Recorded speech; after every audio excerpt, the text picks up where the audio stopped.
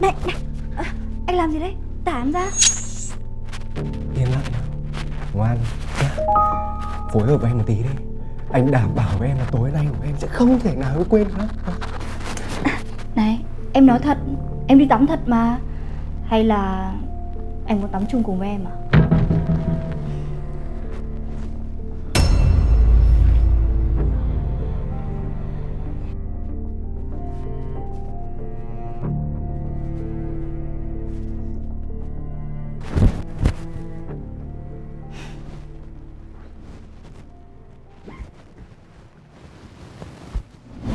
Anh ơi.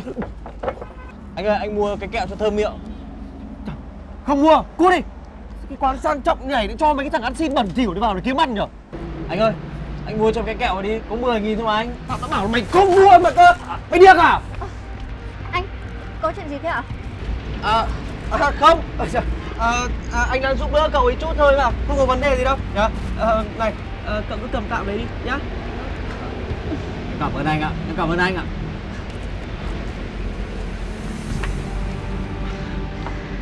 Anh Hải đúng là vừa đẹp trai lại còn vừa tốt bụng nữa.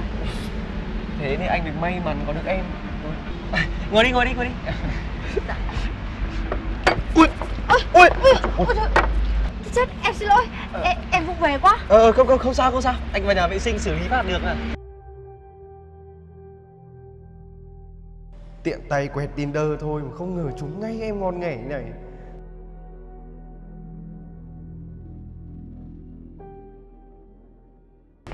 Ôi giời ơi.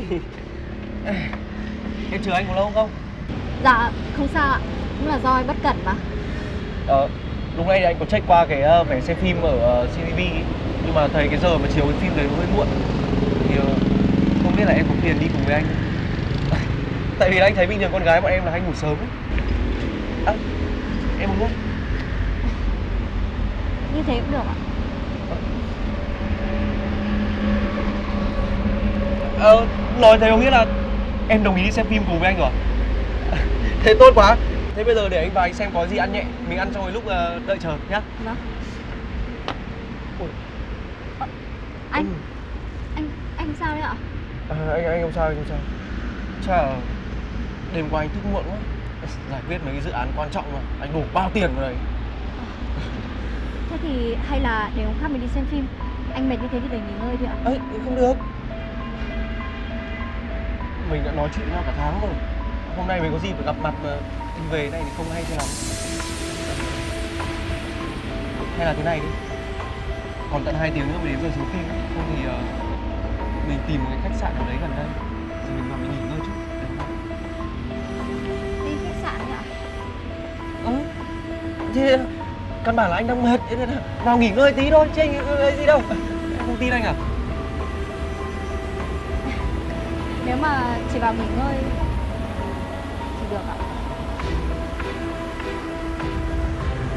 Đừng tưởng Mình xảo trá một tí thì mình là con gà Thực chất anh chỉ là hạt đậu xanh thôi. Anh còn non và xanh lắm.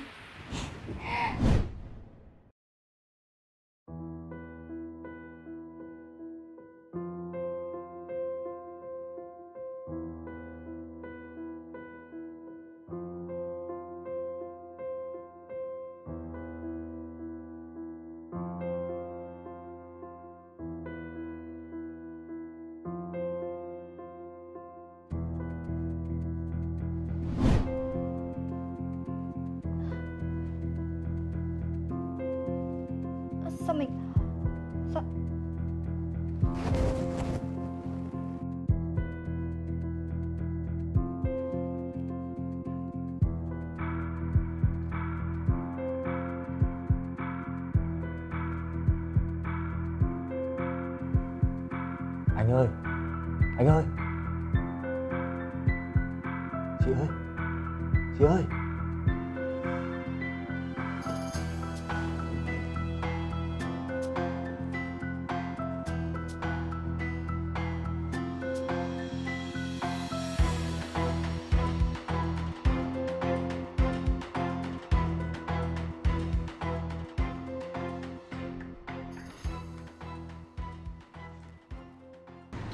Của bà chị đây Bà chị thấy thằng em làm việc có được không? Chụp nét cực luôn. Đủ các thư thế. Trông như thật chứ chả đùa Công nhận là chụp nét thật đấy. Cũng may là cậu thông minh. Cố tình tiếp cận rồi gắn chip vào sau lưng của chồng tôi. Thế này thì khéo bà chị phải thưởng lớn cho em chứ nhỉ? Cầm lấy. Dư 50 triệu đấy Cầm tiền mà nướng vào mấy cái sòng bạc đi. Em xin nhé Lần sau có việc gì thì bà chị lại ới em. Nhạc nào em cũng nhảy Vai nào em cũng diễn. Miễn ấy. Là có tiền.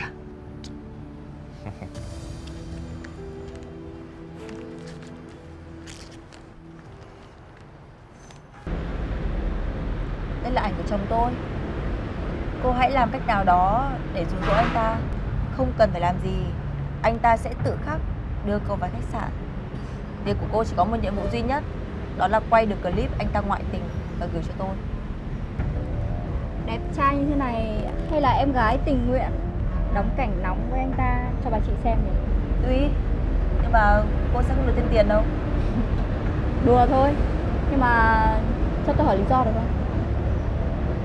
Tôi sống với anh ta suốt bao nhiêu năm nay Tôi hy sinh, nhẫn nhịn chịu đựng vì anh ta cái kết mà tôi nhận lại được Chỉ là sự khinh thường và phản bội Tôi nhất định sẽ phải thoát ra khỏi cái cảnh sống cùng người chồng tệ bạc như anh ta Chỉ cần có bằng chứng anh ta ngoại tình Thì tất cả tài sản cùng quyền nuôi con sẽ thuộc về tôi Cô hiểu chứ?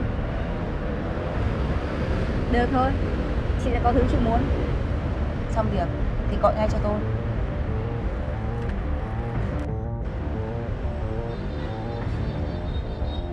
Honey à, chúng ta sắp giàu to rồi.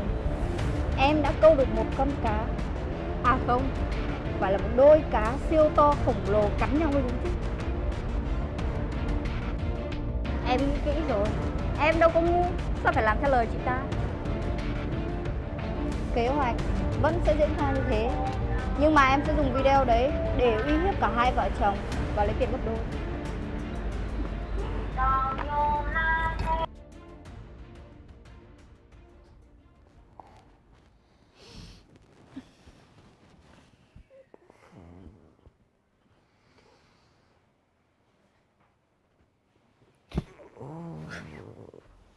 Này! À! Cô Cô này Cô, cô giở trò gì với tôi đúng không? Anh thì không chắc.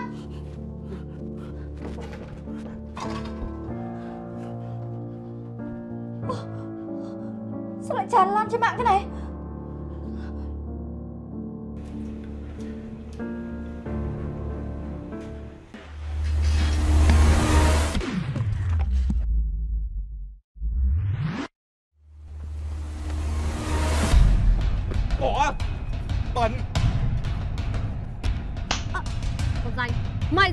chồng tao à? Dạ không phải ạ, vừa rồi là em, là em cứu anh ấy ạ.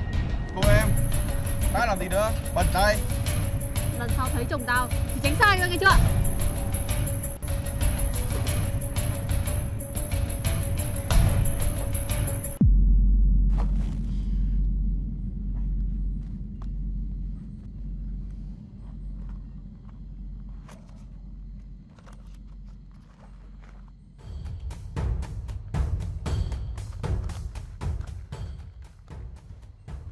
Cảm ơn em.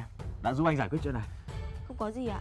Nhưng mà anh sợ làm cái chuyện này Anh ta phát hiện ra được Thì ảnh hưởng đến anh không? Anh thà bị anh ta trả thù Còn hơn làm liên lụy đến em. Anh đã quyết định dính líu đến chuyện này rồi. Thì anh chỉ có một con đường duy nhất Một sống Hai là chết Thế thôi. Nhưng mà anh phải cẩn thận đấy nhá. Em lo lắng cho anh lắm. Nhỡ may mà anh bị bệnh hệ gì Em yên tâm đi. Cuộc đời anh đã như thế này rồi Thì chẳng có gì để mất cả. Đừng lo nhé Anh chỉ mong rằng Anh sẽ không thua dưới tay anh ta thôi.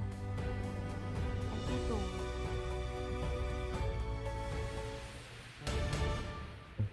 Mẹ nhà mày Làm ăn không nên thân. Tháng này mày đừng hòng nhận được bất kỳ một đồng nào từ tao. Chủ tịch ơi Chủ tịch Chủ tịch ơi Tôi, tôi xin lỗi chủ tịch. Thật sự tiền lương của tôi đã thấp lắm rồi. Bây giờ chủ tịch còn trừ lương Thì tôi biết sống kiểu gì ạ? Tôi đã khổ lắm rồi Tôi xin chủ tịch tha lỗi cho tôi lần này ạ. Cút ngay. Cái loại nghèo mặt hạ rẻ rách như mày thì đừng hòng động người tao.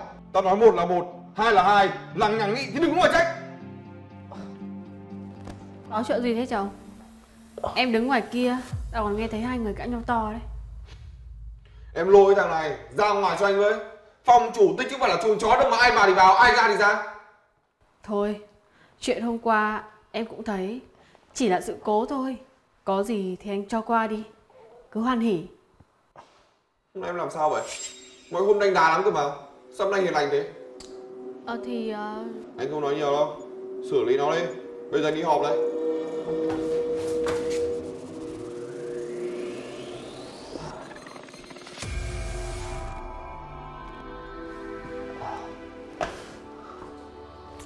chuyện tôi nhờ anh thế nào rồi?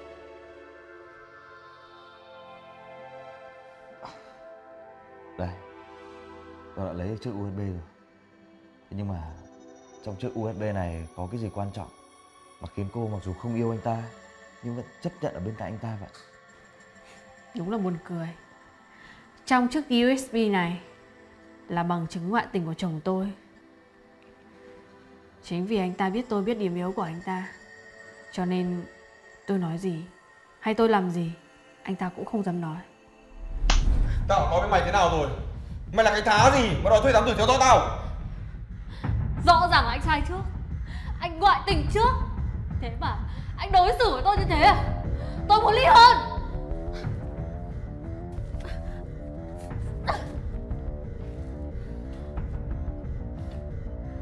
Vợ à, chẳng phải là hai đứa chúng mình đang rất là tốt hay sao?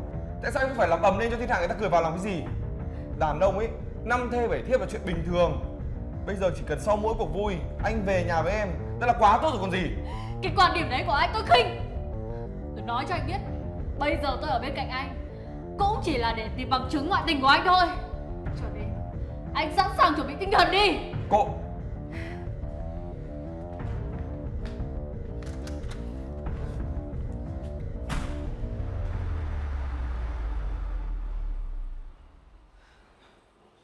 Anh nghe thấy hết rồi phải không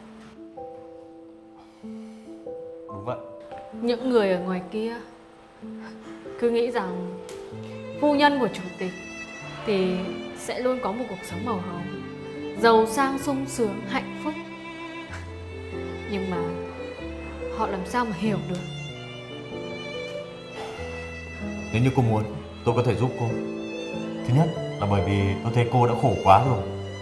Thứ hai là khi tôi ra tù không có việc làm, Người đã cho tôi được như ngày hôm nay chính là cô.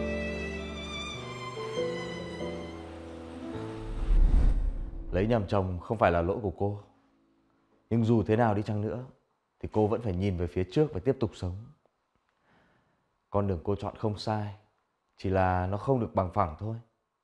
Nhưng tôi tin, Chắc chắn một ngày cô vẫn sẽ được hạnh phúc mà thôi. Cảm ơn anh vì đã giúp đỡ tôi. Sau này, Nếu anh có gặp bất kỳ khó khăn gì, Thì cứ liên hệ. Tôi nhất định sẽ giúp đỡ anh. Trúc đã giao nộp bằng chứng cho công an chưa anh? Anh đã nói với Trúc Phải báo ngay cho công an để tránh đêm dài lắm mộng Tốt nhất là phải giải quyết nhanh chóng đi Chứ em sợ cái chuyện này liên lụy đến anh thì chết Em yên tâm Hắn ta không dám làm gì đâu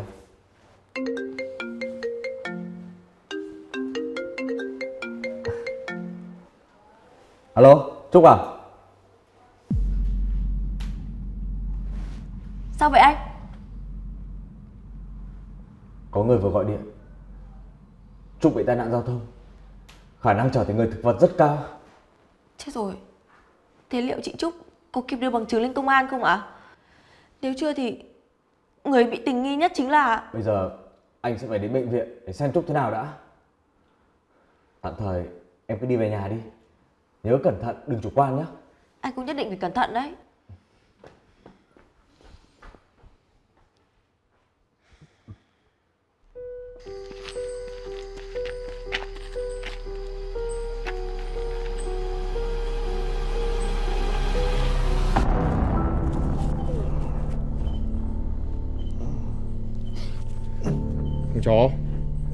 Chứ USB đâu?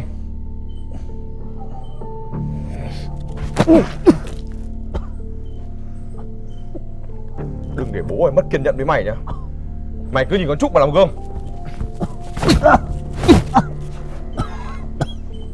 Nói! Ở trong túi áo.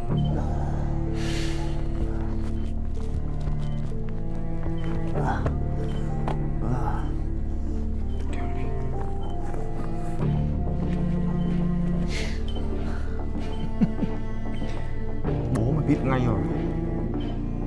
Mày thông đồng con vợ tao Để tống tao vào tù, đúng không? Thì ra nó không chỉ thu thập bằng chứng ngoại tình của tao, Mà còn bằng chứng tao bán cổ phần công ty đi. Nhưng mà nó nhầm rồi. Nếu như mà nó ngoan ngoãn nghe lời tao ấy, Thì bây giờ nó đã không phải đến mức như thế này. Khốn nạn. Khốn nạn. Mày nói đúng rồi đấy. Bố mày khốn nạn.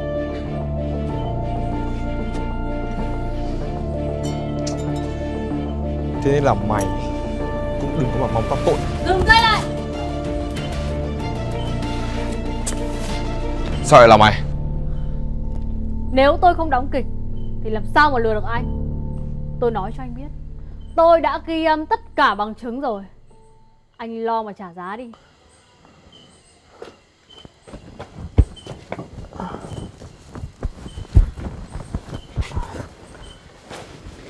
Anh có làm sao không?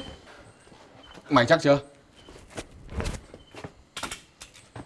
Anh tưởng rằng chúng tôi chưa tính đến phương án đấy à?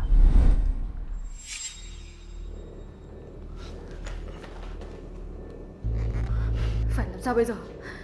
Anh ta phát hiện ra rồi. Tại tôi chủ quan quá. Để anh ta chuyển mục tiêu sang tôi đi. Bây giờ tôi sợ cô không đấu lại được anh ta đâu. Không được. Lỡ anh ta làm gì anh thì sao? Tôi biết ăn nói thế nào với Lan Anh? Không sao đâu, cô yên tâm đi. Chúng ta là bạn cơ mà. Lan Anh chắc chắn sẽ hiểu cho tôi và cô Bây giờ không còn thời gian nữa đâu. Kế hoạch như thế này nhá.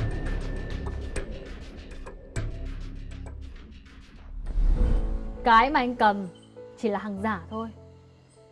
Và ngày hôm nay, Tôi cũng nói luôn cho anh biết, Ngày hôm nay, Nếu như chúng tôi xảy ra bất cứ chuyện gì, Thì người của tôi Sẽ đăng tất cả những bằng chứng, Tài liệu về hành vi phạm pháp của anh. Cho tất cả mọi người cùng biết. Anh hiểu chứ? Vợ ơi Anh biết anh sai rồi. Em đừng để anh ngồi tù. Anh mà ngồi tù Mọi người dị nghị anh thì sao? Em định để anh như thế à? Tôi thà để anh ngồi tù. Còn hơn là dung túng cho những hành động sai trái của anh. Anh đánh đập tôi. Anh ngoại tình. Cũng được. Nhưng mà đằng này Ngay cả bạn của tôi Anh cũng không tha. Và anh nghĩ xem Anh có xứng đáng nhận được sự tha thứ của tôi không? Mà tôi nói luôn Nếu như phải tha thứ cho anh Vì những lời dị nghị của người khác Thì thà tôi chấp nhận Nghe những lời dị nghị đấy còn hơn. Miễn sao Trong lòng tôi cảm thấy bình an. Lúc đấy tôi sẽ tự mở lòng ra yêu thương mọi người. Trúc, cô nói đúng lắm. Thời gian vừa qua, anh Nam đã phải chịu nhiều thiệt thòi rồi. Tôi nghĩ bây giờ cô cần phải có một câu trả lời thích đáng cho anh ấy. Anh không sao đâu Lan Anh ạ chỉ cần chúng ta còn là bạn của nhau, Thì anh vẫn luôn sẵn sàng đứng ra Để đòi lại công bằng cho hai người. Không chỉ riêng gì Trúc, Mà kể cả em nữa.